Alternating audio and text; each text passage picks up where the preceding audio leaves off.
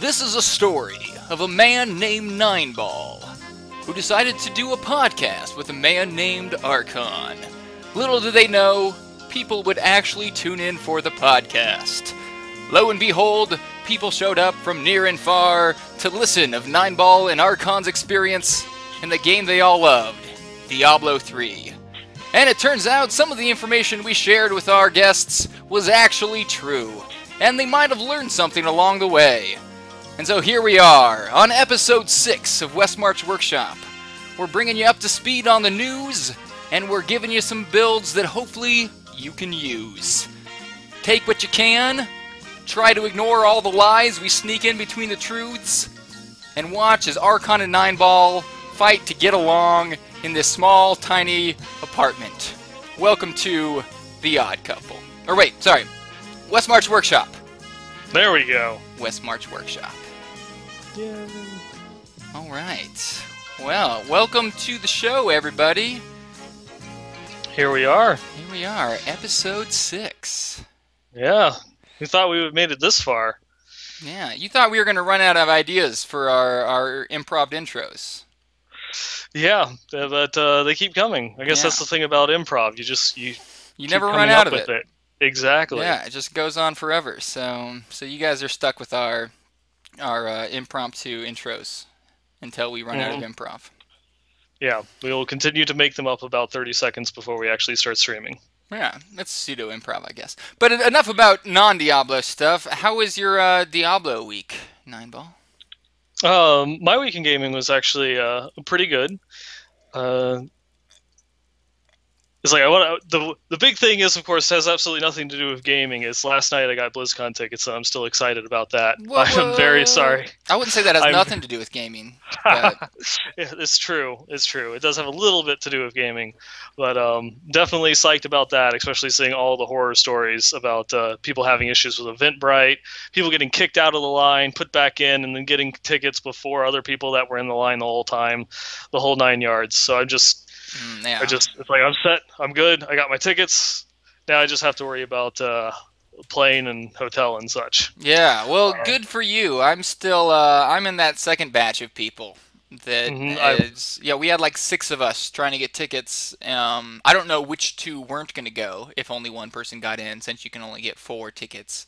Uh, We Mm-hmm. hadn't we hadn't thought that far ahead, but um, none of us got in, so we didn't have to worry about that dilemma anyway. Yeah, it was a, it was a similar situation. I think that there were seven of us trying, and only two managed to get tickets. Oh wow. Yeah. Yeah. So did they buy four tickets each? Um, yeah. We- So we All got we got were good. yeah. At least seven of us. Seven of the others are good. You know, people from the guild. You know, Hmm. World of Warcraft guild. Shh, don't tell anybody. Um, What blasphemy! blasphemy. Diablo and World of Warcraft. that name in here. Um, but uh, getting into my actual week in gaming, I have uh, started leveling up my monk. It's forgive me, softcore, but I figured you know would give some opportunity that uh, Archon and I could play together, because it'd be easier for me to level up a softcore character than it would be for him to have to constantly re-level up hardcore characters. Yes, because Neinball assumes correctly that I would die over and over again just trying to get to level 70. There is only one thing that a hardcore character is going to do, and that is die. No matter how well geared you are, how much time and how much effort you've put into your character, it will die. Uh, what is it? Uh, Xanth, the hardcore writer over at IncGamers, you know, he got his Witch Doctor to Paragon 100 and just kind of stopped playing it before the expansion, and he was dead within a week. No, that's so yeah. sad. Although Yeah. Paragon 100 means so little nowadays, I guess. Yeah, nowadays, I mean, nowadays even I'm Paragon 100, so. Even this guy. even me. So that that pretty much uh, that was uh, that was my weekend gaming. Um, other than that, here's the storm is really addictive, even though I I suck at MOBAs. Uh, no, it's, how it's about very, you? very. I think uh, Heroes of the Storm is very nice to new players. I've had that same experience. Mhm. Um, I didn't play much Heroes of Storm this week. I did play some STD. STD. I just yeah, I had to yeah. Um, STD for anyone who doesn't know, it stands for Squadron Tower Defense oh, or okay. Squadron Transmitted Disease, one of the two. But um, the one we were playing was the Tower Defense. STDs are BOP. Yes. yes, yes. The other kind of STDs are. That's that's a good point. Yeah. Um, yes, and, and you can't uh, disenchant them either. They're they're there to stay. Yeah. Yep. Little, you got a little uh, um, public service lesson here during the show too. We like to sneak those in for our younger folks that haven't taken health class yet. Anyways, um, I played the fun kind of STD, and um, it's a lot of fun. It's a, a uh, use map settings map on StarCraft where waves of enemies come, you build towers, and then you do nothing. You just watch your towers, which from like a game design point it's kind of fascinating that you can have a lot of fun. I guess tower defense in general, you can have so much fun just watching a game and not even participating. I mean, you build the towers beforehand, but the most fun part, you're just looking at the screen, right? You're, yeah, because you're just watching, you know, all the little things run on their automated circuit past your towers that you've already placed with no direct interaction from you, and you're just like, yes, yes, yes, die, yeah. no, no, no. most fun part, you're doing nothing but observing. So fascinating, also a lot of fun. And then uh, over the weekend, I streamed a little bit of Diablo 3 uh, to the reluctance of my computer, who was doing everything in its power to keep me from streaming Diablo 3. Uh, and in the end, I think my computer won. Um, as some of you guys know, my computer's been overheating like crazy. Now it's just doing this thing where it just freezes and then I have to restart it. And uh, it's doing that like multiple times a day now. So um, Sunday was the last time I streamed, and I'm just kind of taking a hiatus until I have some solution to my computer problem. Um, but this has my ability, my inability to play online games has reintroduced me to the world of tabletop games, or more specifically, uh, Pathfinder, which is kind of a version of Dungeons and Dragons. And, and awesome uh, version of Dungeons and Dragons. Yeah, so far it's really awesome. It's kind of complex, so it's taken us a while to learn all the rules but um, it's a lot of fun. I haven't played Dungeons and Dragons since before D&D was even tabletop. When it was only paper and dice, you didn't have the tabletop. We played second edition like crazy when we were kids, and we were kids, so we like we mm. would we would cheat on everything. Like we would when we made our characters, we'd go into like a separate room. We'd be like, "Hey, uh-uh. me and so and so are gonna go over there and roll our characters, and then we'll just come back." you know, because cause there's some people in this room already. We just make up some reason. My my my THAC0 is two. yeah, right. yeah, we come out. We have like three 18s. Our lowest score is like a 13. um, if you guys don't play D and D, those are good rolls. You roll three six-sided die. Anyway, um, now we're playing for reals. We're keeping integrity in there. I'm I've been uh, game mastering, and um, oh my god, I'm so addicted already. I'm yeah. I'm such a nerd, but uh, but I'm it, it in is, it. It has been a very long time since I've last had the opportunity to play a tabletop RPG. You know, like Dungeons and Dragons or. Um, a bunch of my friends really into the White Wolf series of games, so like uh, mm. Changeling and World of Darkness or Mage, I think it was called. I'm not sure. The, only one that I got a chance to actually look into was Changeling, and that was a pretty interesting system. So oh. it's a lot of fun, that. but it's been years. I, I, need to I need to get back into it because uh, uh, I've been playing Warhammer uh, 40k, and that yes. whole tabletop and social aspect has always been a lot of fun. I got to I got to try Warhammer. You you know what we should do is have a Blizz Pro tabletop game that we stream. We should do that. I'm, I'm actually going to bring that up to Dorian because he promised us a tabletop game months ago, and he never delivered. And like the one like teaser that he gave was like post-apocalyptic Sesame Street. It was like, what? wait, wait. What? Is, is, this in a tabletop game that already exists, or he's just like making up tabletop games here? I believe it. Actually, this is throwing it back to like second edition or AD&D rules, yeah. but completely custom, you know, campaign. And it was just, ah, it sounded so amazing. And then OP never delivered. Yeah. Okay. Well, we got to make it happen. I think yes. that'd make a, a nice uh, live stream we it would it would, but um, know, enough enough about that. Let's yes. start getting into some of the news because uh, we not much news to cover, but we do have a lot to talk about towards the end of the show. So let's start getting into it. Yes, we uh, can talk about this all day. Um, yeah, oh yeah, yeah. And, and, as far as Diablo, um, I'm still using my my Frost Wizard as far as my weekend gaming goes. Uh, I'm really liking the the Frost build, even though I've gotten a lot of scrutiny for not using a, a Fire build. Because uh, cause that's what the cool kids do. Yeah, well, I mean, I'm leveling up a, monk, so I am doing it wrong as well.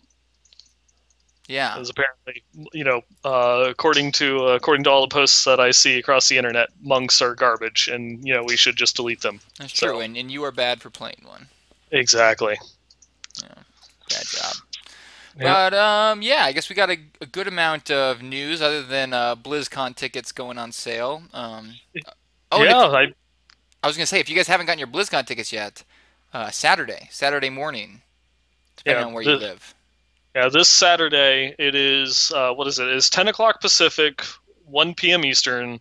You know, it's going on. It's the Eventbrite uh, page. You can find it uh, BlizzCon.com, I believe, or the Battle.net slash BlizzCon as another address in order to get there. It's the first post. It's it gives you a direct link to the tickets page. Um, some people had some issues because they didn't know exactly what to look for because it's completely different from previous years. But in the Eventbrite page, if you go there now, it will say quantity, you know, NA or quantity unavailable. When the tickets go live this Saturday at 10, it's that is going to change into a drop-down menu, and you just you know click a number and go. Unlike previous years where you could change the quantity of the tickets that you could purchase, this year that quantity that you pick in the beginning is it.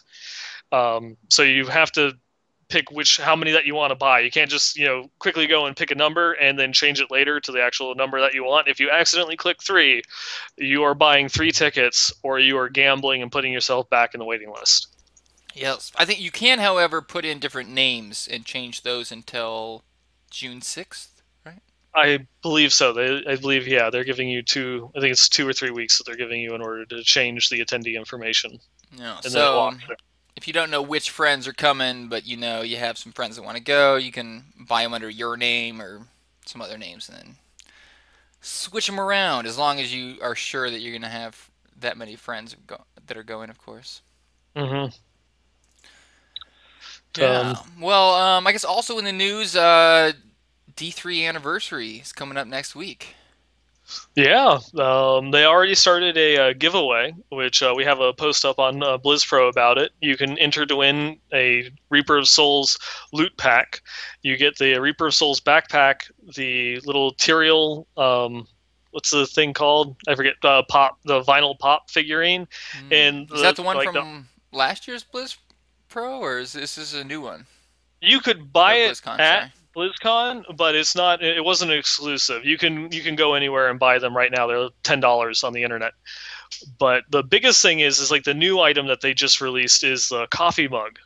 I don't know if you've seen it or can pull up an image of that, but that coffee mug is amazing. Oh, I wish I Yeah. could. I think it would take me too long to get it on there, but yes, definitely check it out. Yeah, it, uh, that that alone, I think it's if you if you don't win the contest, the thing is only like fourteen dollars. You should go out and buy one because it is awesome. Everyone everyone needs. You don't have to put coffee in it. I hear you can put other liquids. So if you're not a coffee drinker, you may be able to put tea, and you might even be able to put water. I don't know. You should try. Uh, send us an email, give us feedback. Westmarch Workshop, you know, at blizzpro.com. Were you able to put water in your coffee mug? We, Yeah, we want to good to know. Does it just, does it just go right through the mug, or do, will it actually? You know, I don't drink anything from a coffee mug, but it's it's BA looking enough that I might just have to get it anyway. Yep, definitely. That has me uh, has me considering going through and buying one. I I don't know. I just apparently I like coffee mugs, and that one looks awesome. Um, yeah, Yeah. and just uh, continuing on with the anniversary. Last year they did a week long buff of experience and Magic Find. I imagine we'll probably get something similar to that for this anniversary. They might not give us the uh, Magic Find buff since they've been very against Magic Find. You know, they, they really just want you going out and farming and then using the torment levels to increase your drop chances. So expect at least some form of uh, experience buff. I don't know if it'll go live all next week or it'll be a week or two weeks from the actual anniversary date itself. I don't know. And I would just keep an eye out for you know what other what other goodies they might actually be going through and giving away or have planned because uh, we haven't heard anything yet. Yeah, that's a good call. I completely forgot to give him that buff last year, but um, man, a year has really, I guess, two years really have gone by so fast. Two years since launch, yeah. It feels like it just came out. Oh well, it kind of did somewhat. You know, it kind of uh, Reaper of Souls is just kind of like uh, reinventing the game almost from the ground up, and it's uh, definitely been a nice little experience going back, especially in the last few episodes. We're talking about like you know pre Inferno nerfs and stuff like that. It was just interesting. Maybe we should do Yeah. a retrospective on uh, next week's episode in celebration of the anniversary. That's a good idea. Yeah, just like the history of D3. You know, uh, if I can get a little off topic on this, Sure. I feel like I've been noticing, and I think you've noticed too, a little bit of a waning in excitement for the game. And I, I think it's kind of natural. Game comes out, everyone's really excited about the new features, um, but it gets stale after a little while. And I mean, I'm thinking 2.1 comes out, a lot of people are going to come back, excitement's going to flourish again. But uh, a lot of players are saying that uh, this is just a repeat of the original launch. That that everyone's really excited, but it's just going to die out again and not come back. What do you think? Well, I mean, it definitely is there. You you can see be going through and commenting about that and posting it, and people really wouldn't be talking about it if it wasn't happening. So there there's definitely some validity to it. It's it's not for everyone. Just like you know, any other game is just going to lose popularity over time. You know, WoW is one of those ones that was just kind of an exception to the mm-hmm. rule that continued to grow so much year after year until you know finally it you know started shrinking back down. You're gonna you're always gonna have like a, a core user base to your games that people that are going to stick through it and play it because they just legitimately have fun. But there's a large portion that are just a, a bit more on the casual side or just a bit more uh, a general gamer. You know they they enjoy playing Diablo or Reaper of Souls but they they want to play other games. They can't just dedicate themselves solely to one thing so they just consume through you know whatever the hot title is or whichever one that they enjoy. So it's not really surprising and when they when they do come out with 2.1 with the the tiered rifts as a form of actual competitive gameplay which isn't just you know repetitive gameplay that you're actually gives you incentive to want to do better and to play the same thing over. So that way you can say i'm better than X or better than Y. And then the seasons, the seasons were one of those things that's, you know, continuing to be a draw to the, you know, Diablo 2. That those will definitely pull back and make that core user base that plays again and again, you know, grow a little bit. So that way you'll have, you know, a bit more stability. Yeah, I think you're right. I think I think where we're at right now is a little reminiscent of right after Vanilla came out, but I think the big difference is we're headed in the right direction this time. Oh, definitely. And you know, dare I say it? What what might happen when they announce PvP? Hmm. Hmm. Yeah, I don't know. I I'm I'm a disbeliever that we'll ever have actual like traditional PvP. Um, but I'm also okay with that. I don't I don't think it really fits with Diablo. There there is a very very loud section of the community that will disagree with you. That loves, yes, definitely. loves PvP in Diablo 2, and that's one of the big things that they're Well, looking for. I to. would argue that brawling gives you essentially 90% of what you had in D2 PvP, and no one does it. Yeah, to to an extent, it, it does. It's not quite the same because you used to be able to do in the the D two system. It wasn't just free for all. You could actually have teams. You know, because you could still be in a party and then you know go hostile towards the other players. It was, uh, and you had a larger area with which to play with. It was interesting. But most of the PvP was 1v1, right? Um, not always.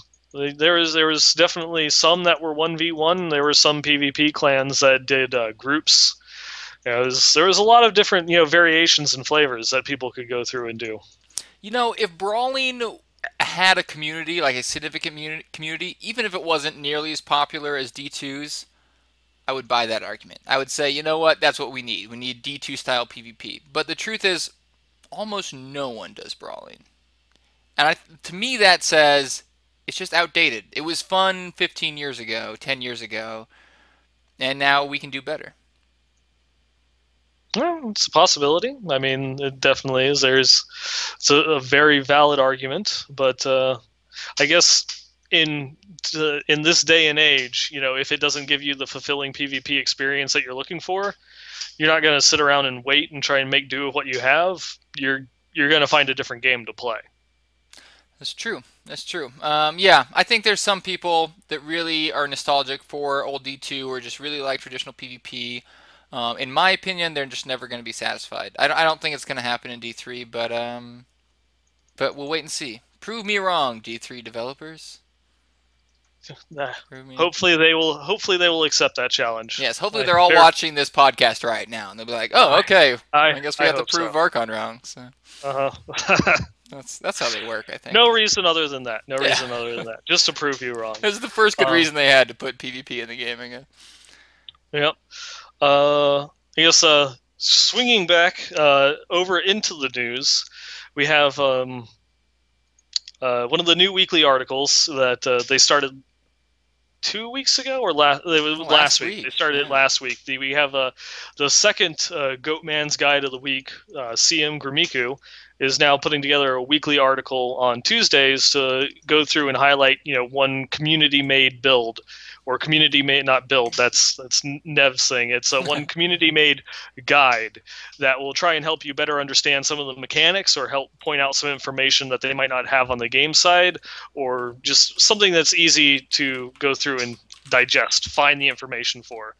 And this one talks about cooldown reduction, and they gave a link over to uh, Band of Gamers website where they have a, a cooldown reduction calculator because it's not it's not quite Ah, it's not yeah. quite additive, not quite multiplicative. It has diminishing returns, so it's a little bit of a complicated one to figure out just how much you're getting out of the stat and when it starts dropping off. Whether you can allocate some of your Paragon points someplace else, you know, and not have any effect on your build. So it's pretty interesting going into something that's you know one of the more complicated stats in the game. Yeah, that's definitely really useful. And I think the majority of casual players probably haven't really figured out cooldown reduction completely. I mean, it can be really misleading to think that you could stack, yeah, 100% cooldown or whatever you might think when you first get started. So I can see that being a really valuable tool for, for especially new players, but definitely for anyone.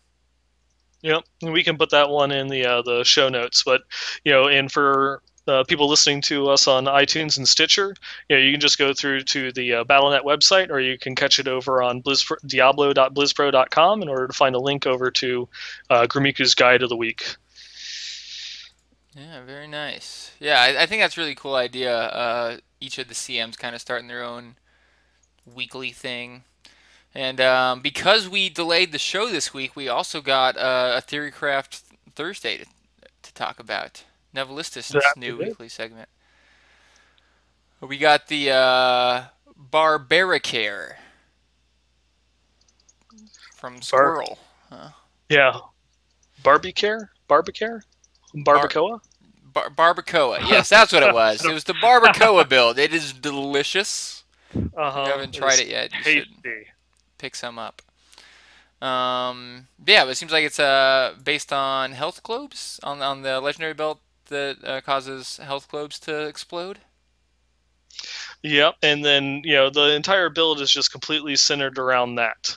So you know everything that you do with the, the build just tries to help you get more health globes with uh, the skill and other item selections. Yeah, and they if you guys look at the guide, it's on uh, BattleNet or um, I, I, imagine is it on uh, BlizzPro yet?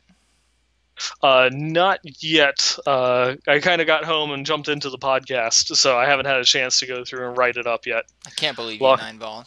It's embarrassing for. I'm sorry. No, but uh, yeah, if you look, I'm sure it'll be on Blizz Pro soon. And uh, if you look on BattleNet, uh, they have a screenshot where Squirrel. If you're not listening to this live, it's gonna be it's gonna be on Diablo.blizzpro. You can find it there. I promise yeah, you. if you're not listening to this Well, live, it's already there. We we had it there Yeah. like two seconds after it was posted. Don't even. It was up it. the entire time. I was actually lying. Yes. I'm not. That was just for the live people. Ignore it if you're watching. Anyways, um, yeah, they have a screenshot where uh, the barbarian has spawned like just a ton of health globes and is actually doing some pretty good damage just picking up health globes. Yeah, it's you know you might not be able to farm Torment Six you know quite as effectively as some of the other bar builds like the uh, the Fire Earthquake Leap, you know obscenity that they have going on, but it it just really goes to highlight some fun builds that you can have with just one item changes the entire aspect of how you look at the game itself, which is one of the things I just absolutely love of Reaper of Souls. When when looking at it from a non-efficiency standpoint that you you have so many opportunities out there to just make a, a build around almost anything you want and have fun while doing it. Yes, if you if you don't care much about efficiency, I think I mean there definitely are more viable builds as well. Um, there's there aren't hundreds of viable builds, but there are more than there were in vanilla. I think, and, and by viable I mean if you care about efficiency. Um, but just reading through the comments on these Theorycraft Thursdays, it does seem like the biggest piece of criticism is that the two builds that they've shown so far aren't competitive builds. They're not builds you would use if you wanted to, if you're min maxing, so to speak. Yeah. Um, and that just reading through the comments myself, that seems to be the biggest piece of criticism. And um, and I understand what they're saying because a lot of players, and I'm in that group, really don't care about builds that aren't as efficient as the top builds out there. And so it feels like a waste of time for I think for that entire demographic. However, I think it does highlight, as you pointed out, an important aspect of Reaper of Souls, which is that there's a lot of really fun builds that are going to require you to lose a little bit of efficiency. Um, but you know, it can be fun to play around with if you don't mind losing it. What do you think, though? Should they should they make some effort to focus on builds that are competitive, or is this um, or the competitive builds just going to get found out anyways? And Theorycraft Thursdays better off just focusing on fun, interesting builds that people might not have heard of. You know, I'm perfectly fine with them just doing fun, interesting builds that people might not have heard of. You know, things that look like they might be fun to play or change up gameplay in certain aspects. The you know the the go-to cookie cutters now are pretty much well known. They're already been stamped out. There's not a there's not a lot of new discussion going on for which build is overpowered or you which build new is, discussion, right? I just want to make Yeah. sure. Okay, new discussion. Yeah. yeah so it's you know they, they've pretty much have already been figured out there's not a, there's not really anything new coming out in terms of what is the most efficient thing in order to farm tier 6 you know there's a couple go-to builds for every class at least you know at least one you know or multiples that they have and then that's it if they were to focus on that it, it would definitely create some content for a couple months but then afterwards you're done because you don't really see much else coming out unless they introduce some new items Yeah, no, that's a really good point. You just need to tell everyone who's commenting on the on the forums now, or the blog rather, that uh, that they're Well, wrong. I'm just I'm just gonna do what everyone else does on the internet. I'm just gonna go over there and tell them that they're wrong. That's Yeah, what I'm gonna do. That's what the internet's for, telling people Exactly. they're wrong. Yeah, well, good on you for that one. Um, yeah, what else? Um, there was some new exploits and potential hotfixes on the rise. Um, nothing nothing new that I've seen as far as uh, exploits go. You know, I guess it, the one like really big unaddressed one, I guess, just is still split farming. But I don't think that there's much that they Hmm. can do to cap. You know, to put a lid on that one. It's just it, it is what it is. Yeah, you know, I appreciate that you call that an exploit because I I think that most players would say that's not an exploit. That's just game mechanics working how they were intended. But um, but I'm one to use the word exploit literally, in that if you're exploiting a feature of the game, it's an exploit. And so I think I think under that definition, split farming is in fact an exploit. Yeah, I mean, there, there's definitely going to be. We'll we'll get some flack for this one, I'm sure, but uh, it, it definitely is not the intent that the developers had when they were trying to foster, you know, multiplayer content to try and get people to go through and act as a group while playing the game. That the best way of doing it is to split into four individual parties in order to go through and farm up all the bounties individually, and then just meet up in the se- meet up at the the end and collect the the caches as fast as you possibly can. Yeah. So- No, I mean, yeah, when you lay it out like that, it's clearly uh, in a circumstance where players are exploiting the mechanics of the game the way that they're they're built in. I, I think a lot of people have just come to see exploit as synonymous with glitch or or bug, and that you're doing something that is game breaking. That's you know that you're spamming these spells as you go into a loading screen, so you turn out invisible. Like and they, they don't see things like split farming as exploiting because they're not- the kind of things that you would get banned for, and, and those things kind of go hand in hand usually. Yeah, and I guess um, that's that's pretty much it for the official news. Some of the unofficial stuff, we've had some very interesting uh, data mining going on this past week. Uh, I guess let's start with the old one that kind of came out uh, last week, right uh, the same day as the podcast, and we decided to skip over it because uh, the they found they data mined the item drop rates that are built into the game for the various legendaries that exist. You know, the, even though they had said at BlizzCon certain items are going to be rarer than others, we now know exactly how much rarer they are than others because they, I believe it's a Korean or a Chinese site found the drop rates in the game code. Most people just assumed that that was something server side, but it was hidden, you know, deep down in the MPQs, or they, they changed it. They don't use MPQs anymore, whatever the hell they are now. Um, all of all the drop rate information, and it was just we kind of had a full full show, so we decided to skip over and talk about it this week. And since then, I think it was a day ago or two days ago, someone actually found the uh, the source because beforehand it was just you know th- these are the data drop rates. You know you'll have to believe us, and we're not going to give a source. you know, and now now someone went digging a little bit deeper and found the the actual you know who had done it, how they did it, where they found it, and such. So uh, first it was reported as being a leak. They didn't say anything about it being data mined, but then it was actually you know no, it's in the game files. Yeah, it's pretty cool. I think two interesting things about that. One, that it took them so long to data mine these. I mean, sites like Diablo fans are usually really good about catching new information that hasn't been released in files. And two, this must be new to Reaper of Souls, right? I mean, if we had had the drop rates in vanilla, it would have been data mined by now, wouldn't it? Uh, potentially. Um, you know, I actually got into a conversation with someone on Reddit earlier today about it something like this, you know, you'd have no idea what the strings or the code, what the tags inside the code look like. So you, you have nothing to go and look for. We, when you have a new patch comes out and people start data mining all of the skills and new items and such, is because they, they know what that looks like in the code, and a lot of that is automated. They have mm. you know a program that will go through go through all the strings, pull the information for what's you know tagged as items, tagged as skills, and then compare it to the previous build and show you this is what's changed or this is what's added. If you don't know what it is that you're looking for, you have to go in manually and try to piece together what what all this you know miscellaneous bits and pieces mean. So it's a lot harder to go through and find something like that when you have no basis uh, to show what it is or what it's not.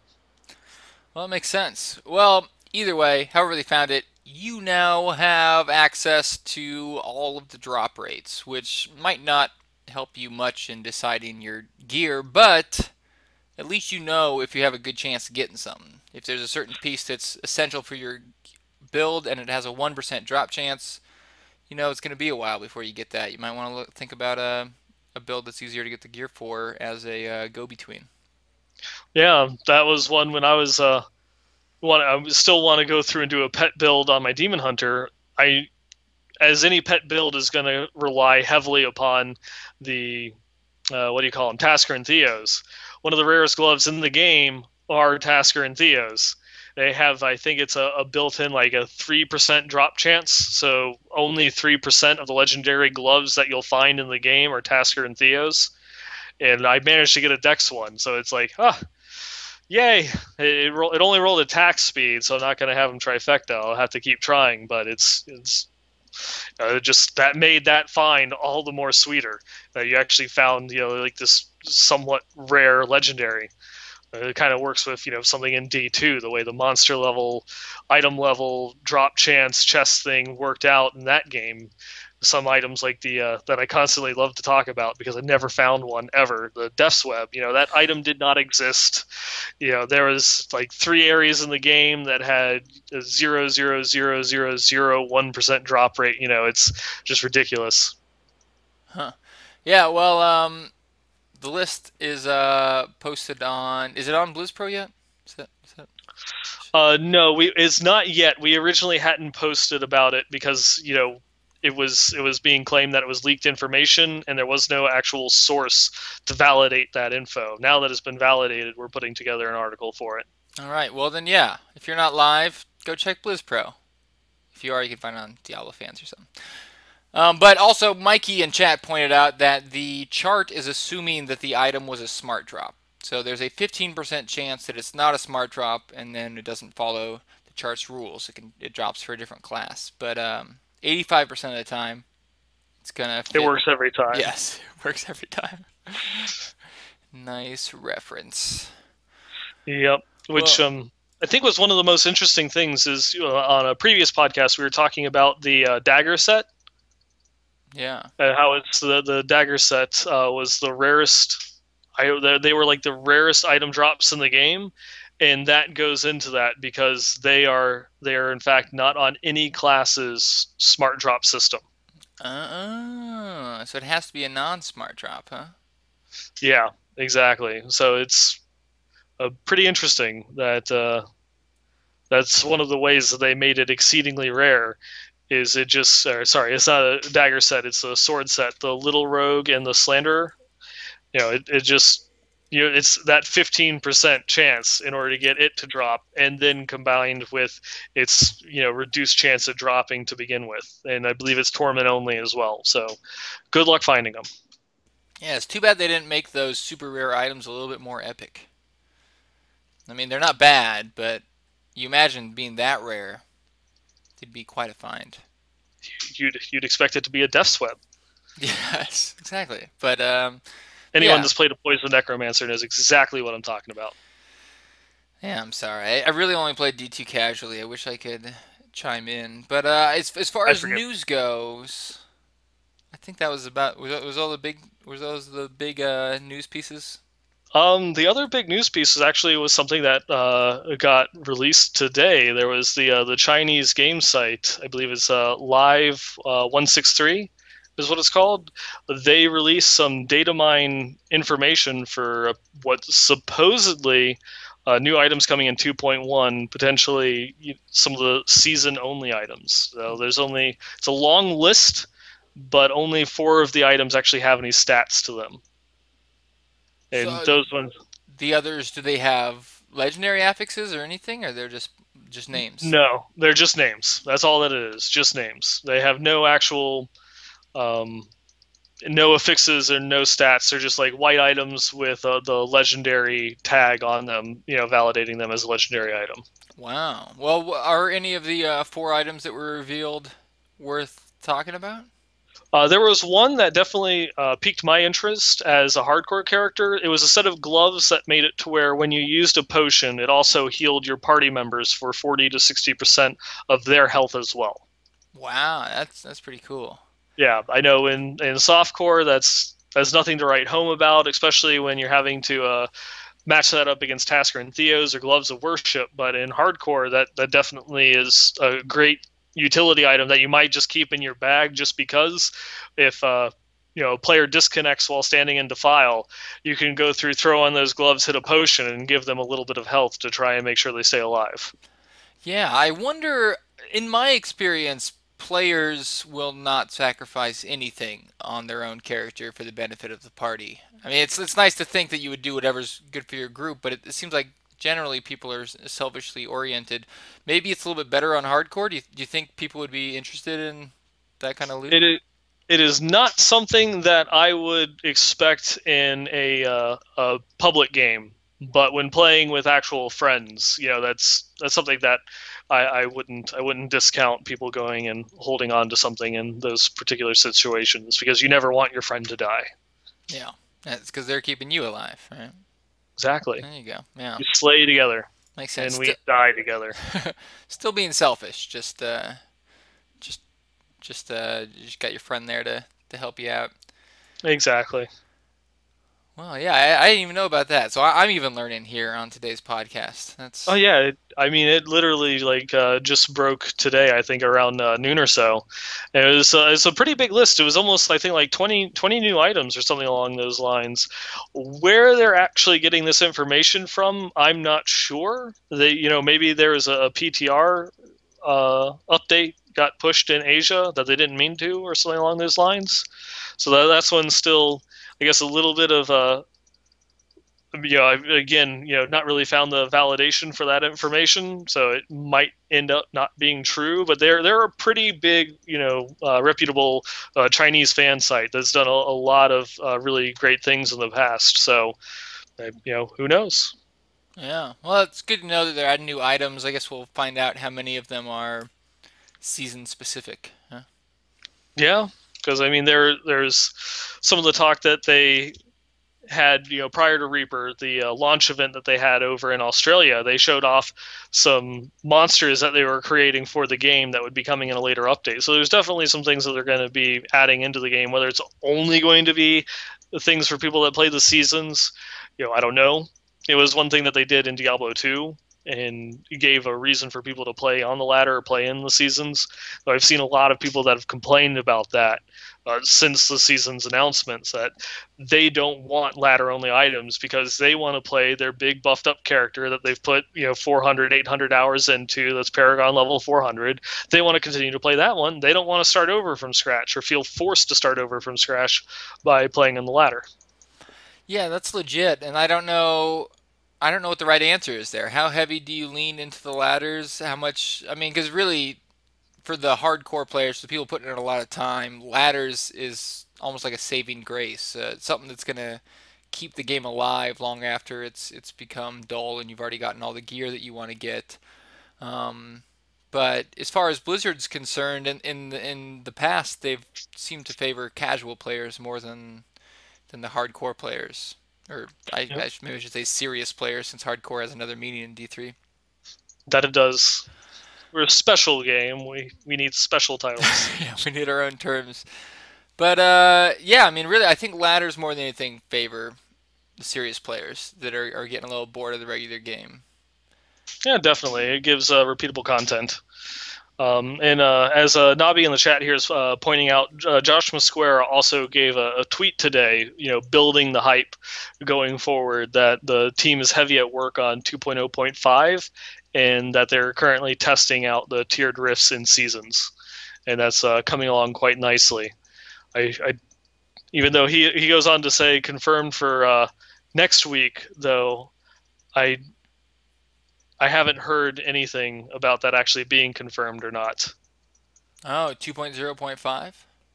Yeah, whether that's going to be next week or not. I, I haven't seen anything to actually oh. confirm that information. Well, yeah, if anyone in chat has a link, go ahead and post it, and we'll uh, bring it up later on if, if that evidence actually exists. It's good to know. I would love 2.0.5 to come next week because uh, I guess our, we keep saying that one other piece of information, that I just remembered it wasn't something that I put in the show notes. But uh, uh, yesterday, last night, they confirmed that they are looking into the issues that have been affecting a lot of people that have been having lag when you open up your inventory screen or when a new player logs on or when you have the achievement toast that goes and locks up your game for a second or two. They're looking into it and they have a, a fix that they're preparing, but it requires a patch. They don't know if they'll get it into the 2.0.5 patch or, or whether it will have to be uh, patched separately later on once they actually you know implement uh, the fix in the code for that one. But uh, hopefully we'll have that soon. Yes. Yeah, I know a lot of players have been complaining about that, especially hardcore players. I'm sure. Oh yes. Um, yeah, so hopefully they can squeeze that in. We had a lot of uh, community activity this week. Oh, that people, we have.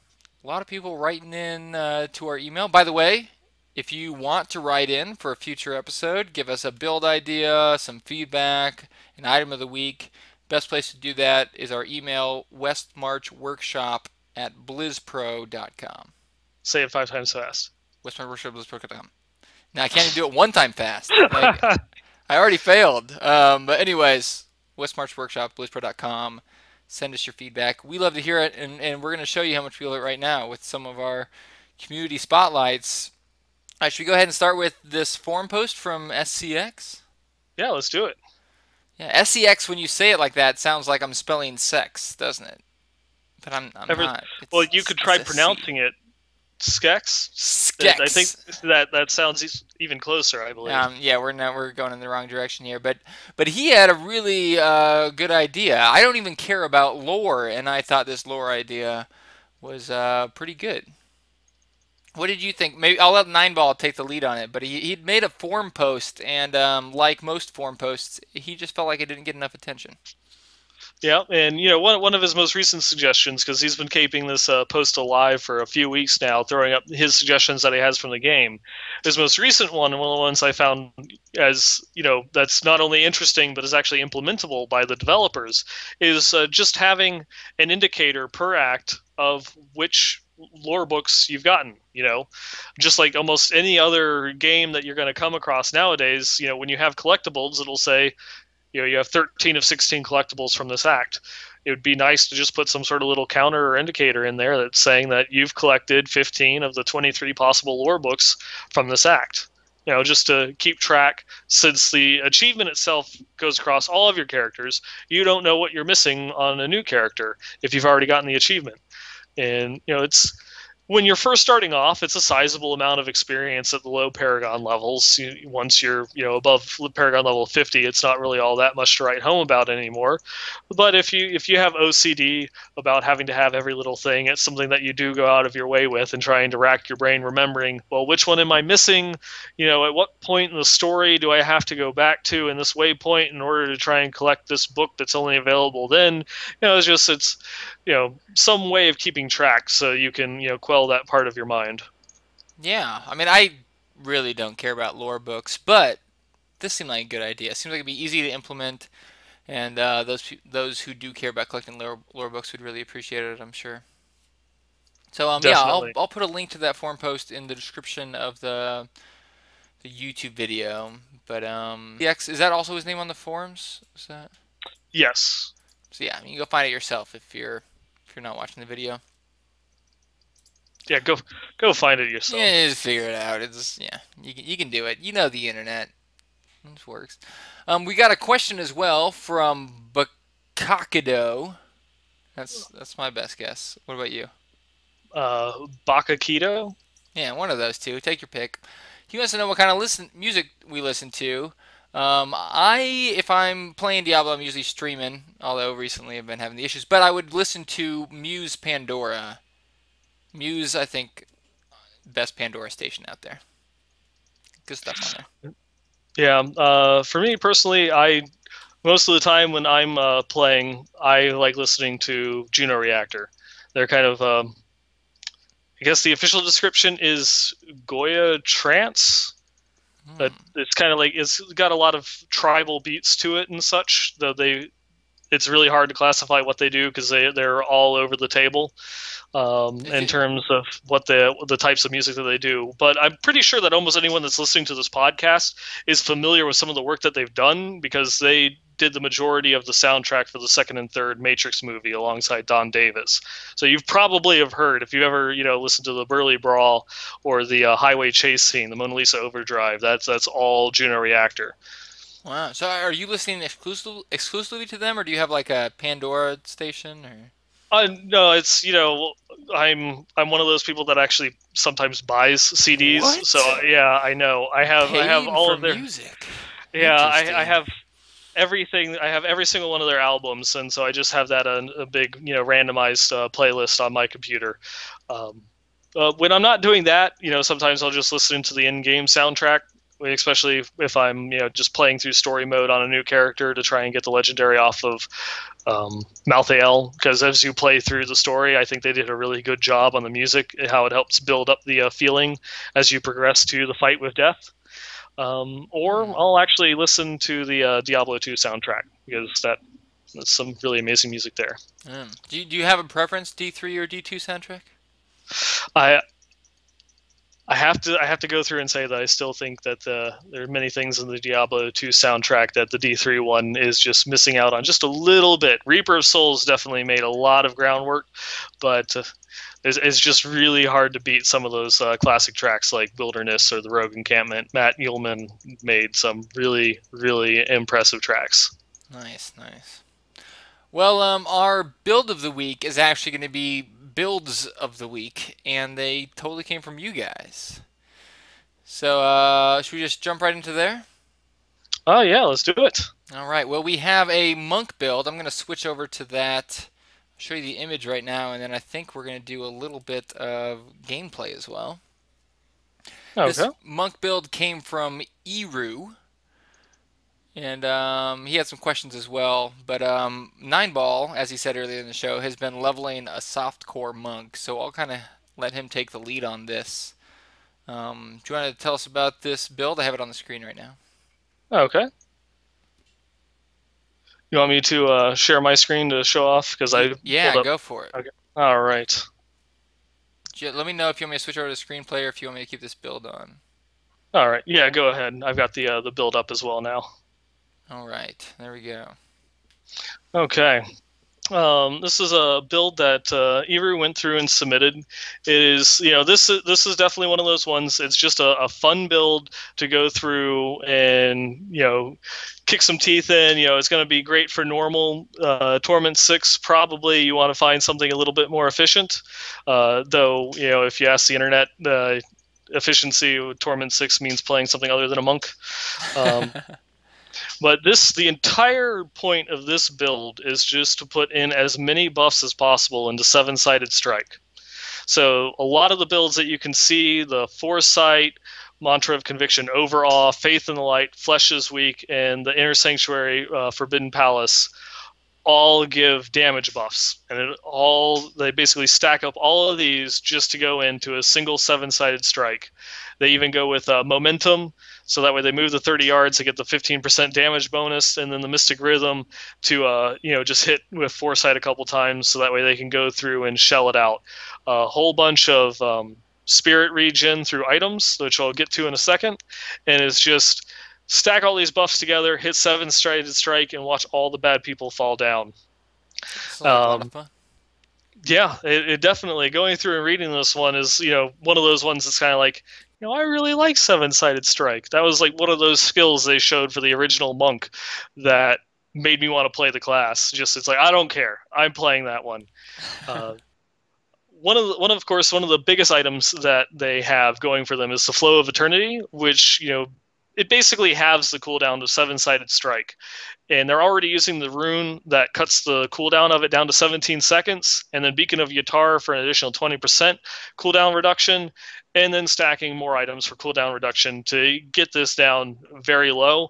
I don't have any of these items, so I can't test it myself.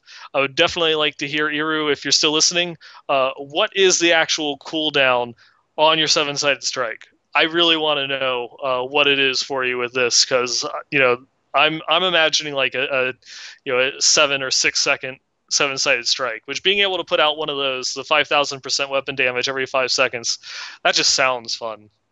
Yeah, that sounds awesome. What what's the base cooldown of seven sided strike? Uh, twenty five seconds. Uh, the, wow. or 30 seconds. The base cooldown is 30 seconds, and then with the rune they cut it down to 17, and then start going from there. Yeah, it sounds like a really nice build. It sounds reminiscent of uh, the Archon build as far as gear goes. But uh, mm-hmm. Yeah, it'd be really interesting to.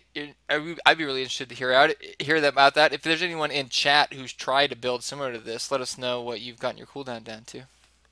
Yeah, and you know some of the other things that going through and using the two-piece uh, set bonus from Sunwuko's balance which is just while a combat staff is equipped, all of your damage is increased by 20%, which again is just there to try and add another modifier, another layer of modifiers onto seven sided strike.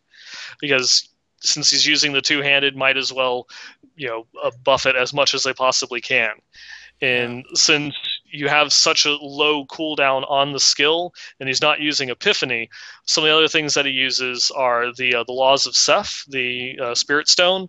That when he uses the Blinding Flash, which because of his skill selection and items that he's gearing for, he's going to have a very small cooldown on Blinding Flash as well, and he's always going to use it right before in order to get that big damage bonus, and it's going to give him enough spirit to cast one or two seven-sided strikes, you know, in quick succession with the reduced cooldowns.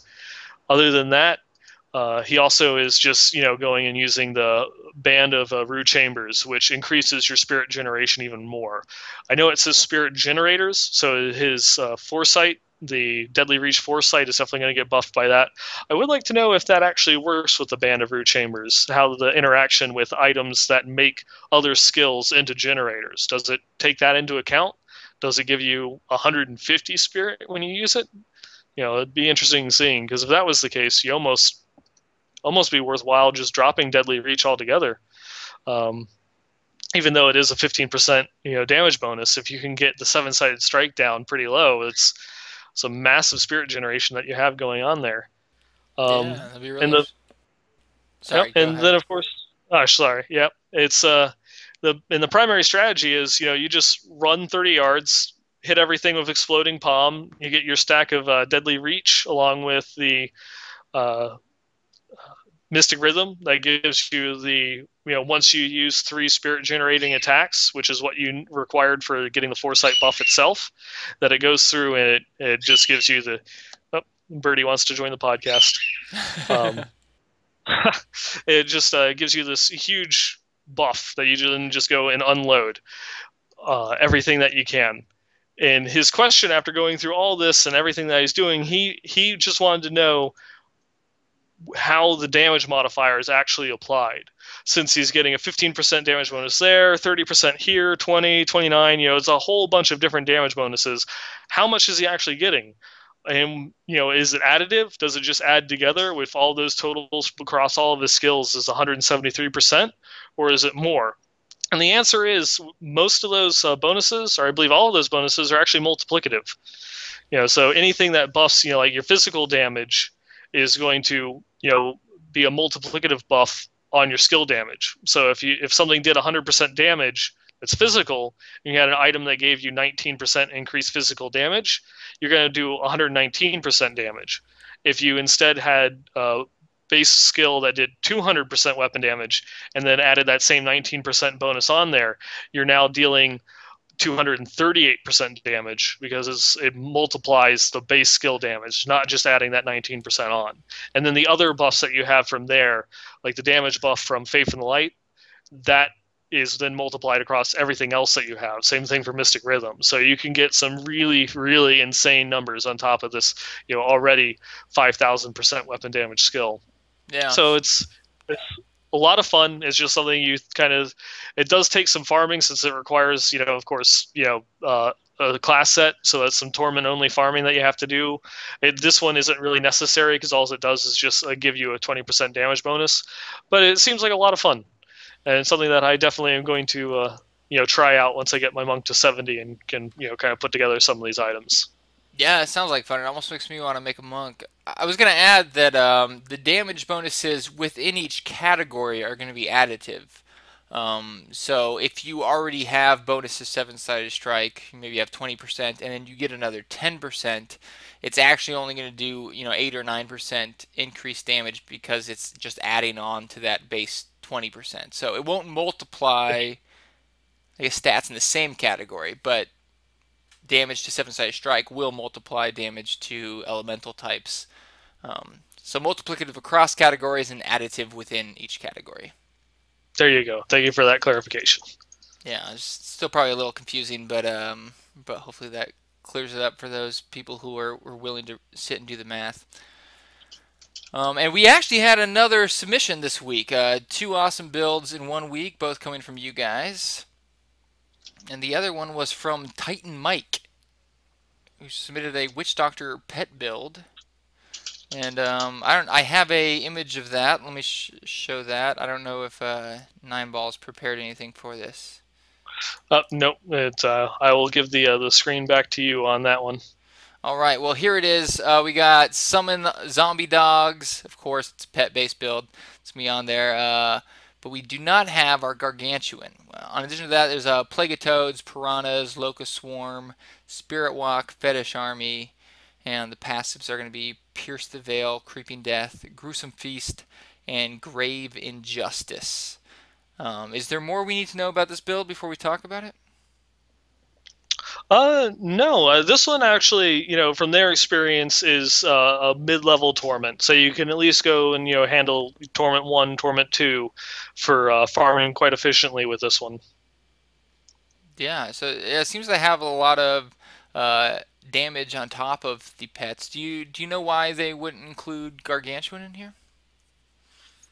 I do not play a witch doctor that much, so I'm not quite sure um, why they wouldn't take a gargantuan other than for this particular one i i think that it's uh, a lot of the damage itself comes from the fetish army more so than the rest of their other pets. Makes sense. Hmm yeah, it seems like you'd want to stack cooldown reduction for this. I, I still can't help but think that once you had a lot of cooldown reduction, that just throwing Gargantuan would be on there. I guess it might depend on how much bonus you have to pet damage on your gear. Yeah, it you, definitely is. Uh, so once you have Tasker Theos and uh, the helm that increases your pet damage, I can't remember what it's called right now. It is the uh, Mask of Jeram. Oh, there you go. Yes, uh, once you had those, I, I imagine it'd be worth it to put uh, Gargantuan on the build as well. I haven't played much Witch Doctor and Reaper of Souls, but uh, but you know you're gonna be given a lot of bonuses to your Gargantuan once you have the gear for it.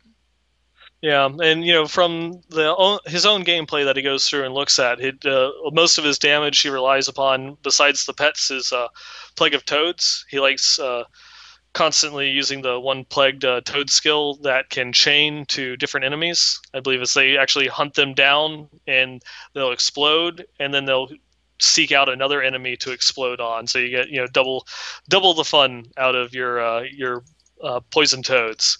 But they also have locust swarm. You know, it which is just you know it's a great dot you know for so it's nice constant damage. It might be something that they could instead replace with gargantuan if they really want to focus more on the pet damage instead of just the all around you know general skills. Yeah overall this looks like a nice hybrid build maybe as you're starting your pet witch doctor before you've gotten a lot of the essential gear. You can still do a lot of damage without relying on your pets and uh, you got the pets in there as well yeah, because that is one of the, the higher level torment builds. Is just the, um, I believe it's the uh, the star the, like the next evolution from this point forward would be the star metal kukri. I believe it's called, which makes it so that way every time one of your fetishes attacks, it reduces the your cooldowns by one second. Mm, or it's every yeah. time one of your pets attack, it reduces the cooldown. And is uh, you you have one or two permanent sets of fetish army, and you almost always have Big Bad Voodoo running the the entire time. One of the videos that I saw of it, this they had two two big bad or three big bad voodoos up at once while killing Azmodan. Wow. And they, of course, they had the Gargantuan, and I believe it was the Gargantuan with that turns it into a cooldown to summon instead of the one that's always up. And so like they the got super beefy and just yeah, that one, you know, was going through and farming Torment 6 with relative ease. It was just disgusting.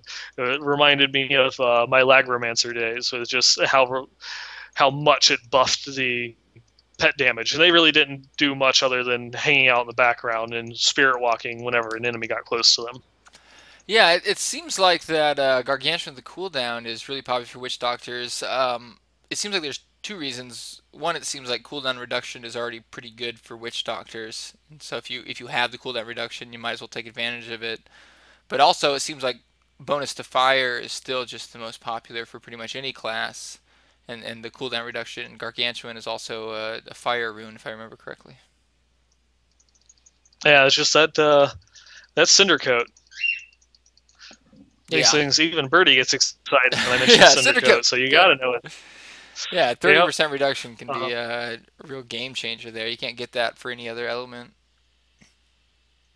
Yeah, it makes it makes anything spammable, but uh, yeah. so definitely definitely some uh, fun builds. The Witch Doctor, you know, the Witch Doctor was probably one of my least played class, but it always has some of the most you know fun and interesting builds out there. It's just it's just crazy the, the class itself is just crazy. I'm just going to throw fish and toads and like summon little midget skeletons to go and attack you, and sit back here and laugh. yeah, yeah. I, I have had a lot of fun with the witch doctor. It hasn't taken me away from the the wizard yet, but uh, yeah, I think it's a lot of people get uh, some satisfaction from their D2 nostalgia. I think. Mm-hmm. Definitely. And um, let's see. As far as community goes, I think I think that was it for our build section of the week. But... Yeah, that goes that goes into our builds. We do have a uh, we do have one more piece of community feedback that we have before we get into the uh, the item of the week submissions that we have, and this one actually comes from someone that we mentioned last week. Uh, we talked about Bloodwater's Crusader, how he submitted a a critique for his Crusader. He wanted to see what it was that he was uh, doing wrong, or that he could get uh, some advice because he was having a lot of survivability problems in Torment 2, and then died before we had a chance to talk about it. And so, you know, we had a little uh, little vigil. We did some mourning for him and his Crusader.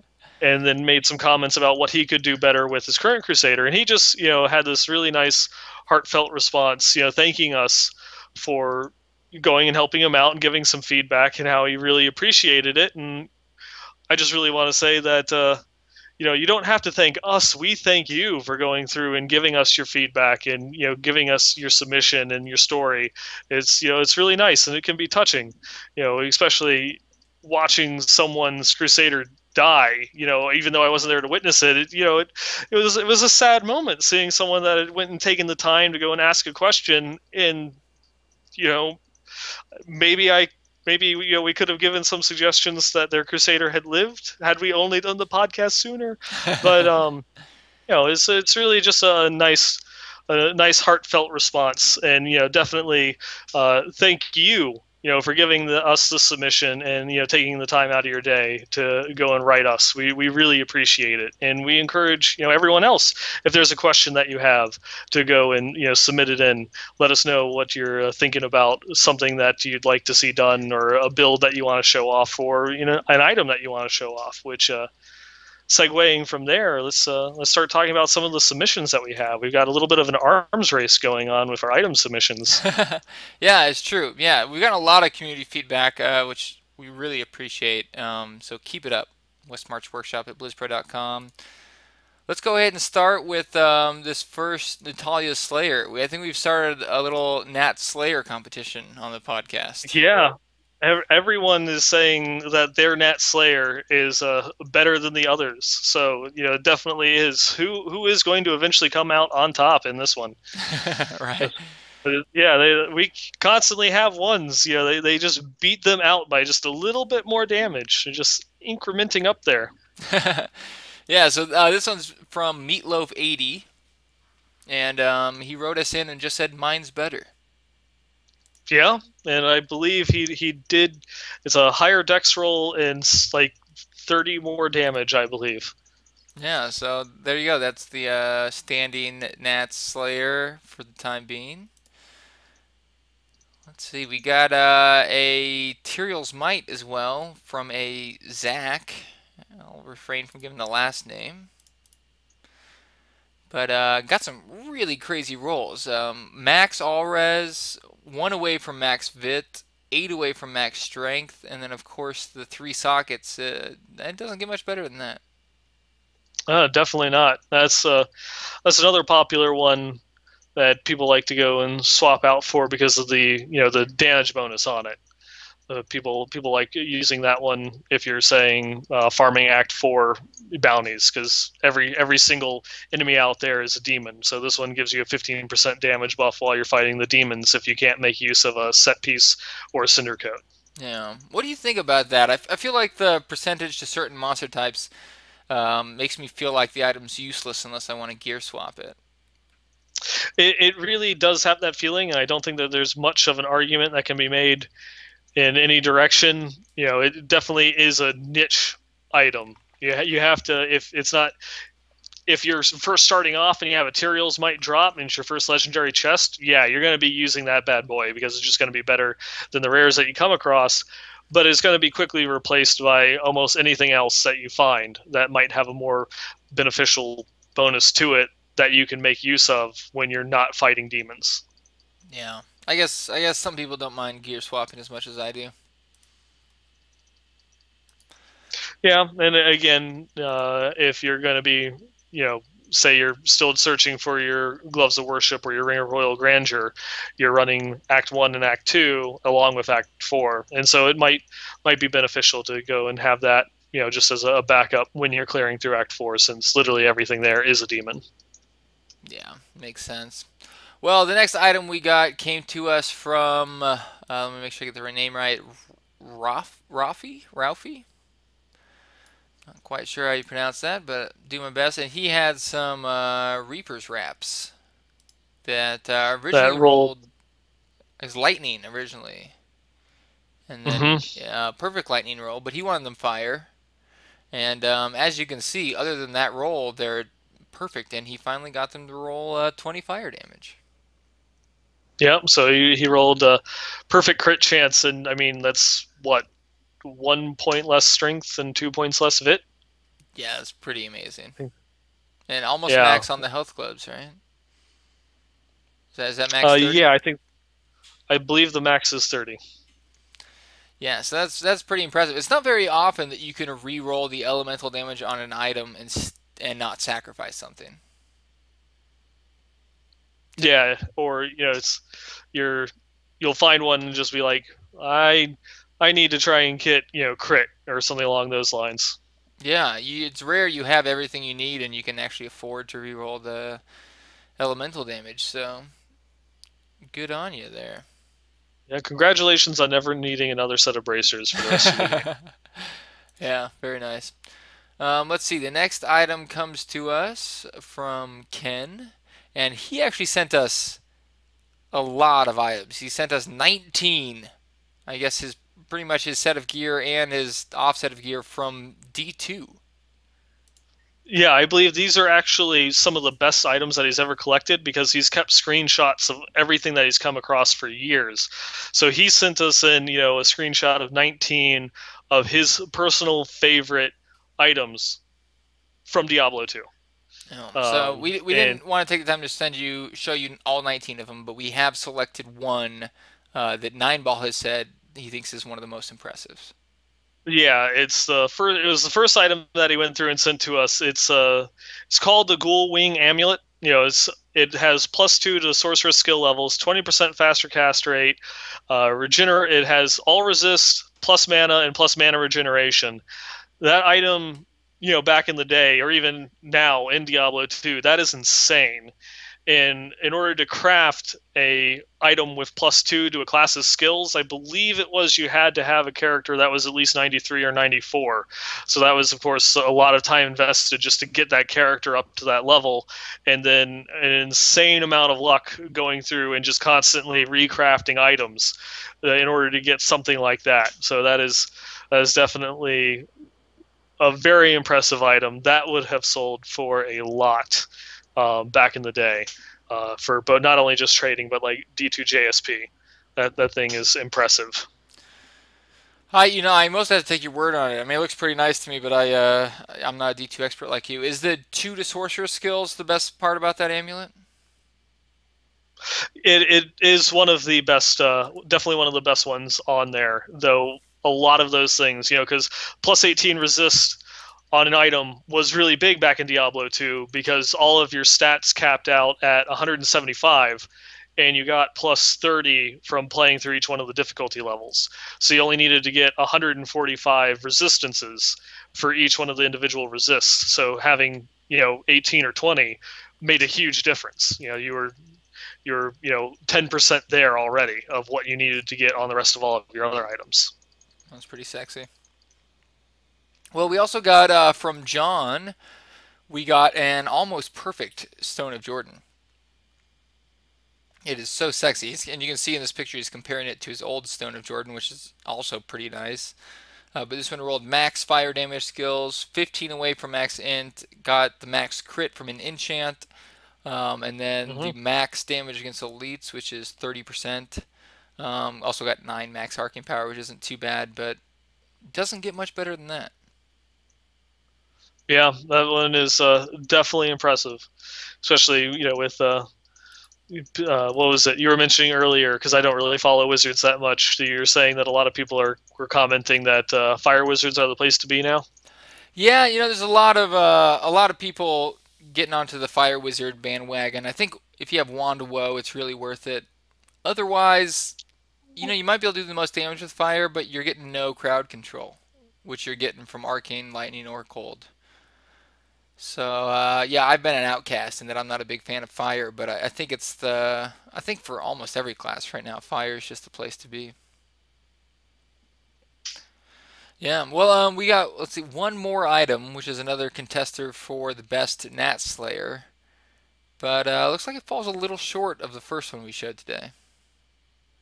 Not quite the uh, not quite pushing 2,800 damage. Maybe we could show these uh, back to back, and we could we could see them. Let's see. Uh... Yeah.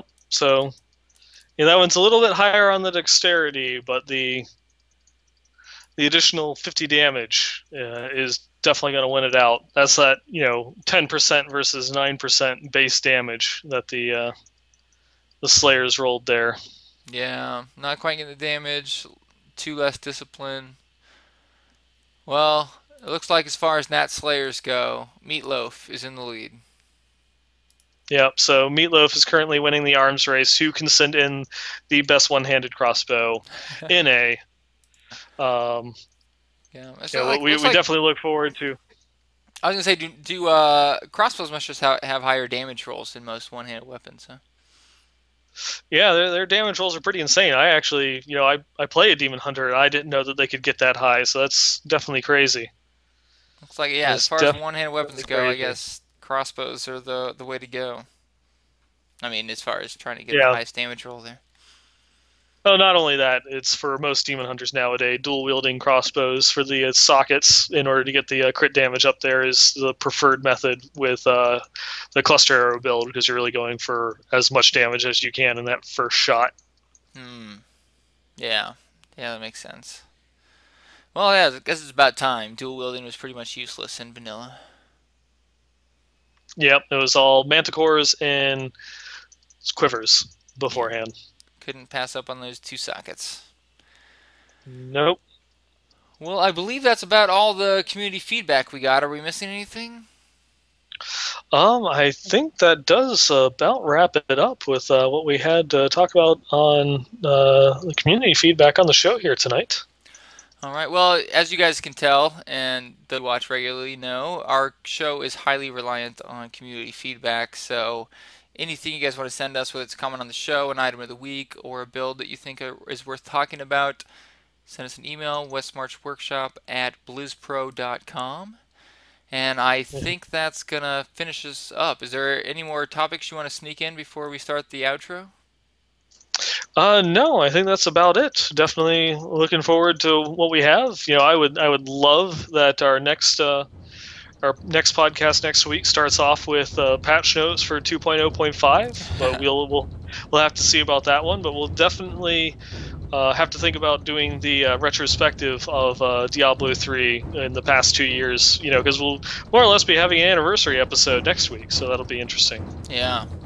Well, I think we'll definitely have to do that. Next week, tune in for episode 7, our anniversary week. Be going back through the history of D3 and maybe even dabble in the history of, of Diablo in general. Oh, there's an idea. Yeah. So, uh, should be a good week. I hope you guys enjoyed episode 6 of Westmarch Workshop. Send us in your builds, your ideas, your feedback, and they'll be featured on the podcast. As always, we've enjoyed our time with you guys, and uh, we will miss you until next week.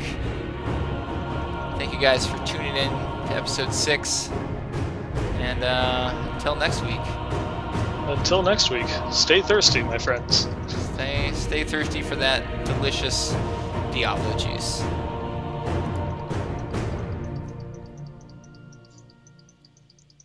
That sounded so wrong.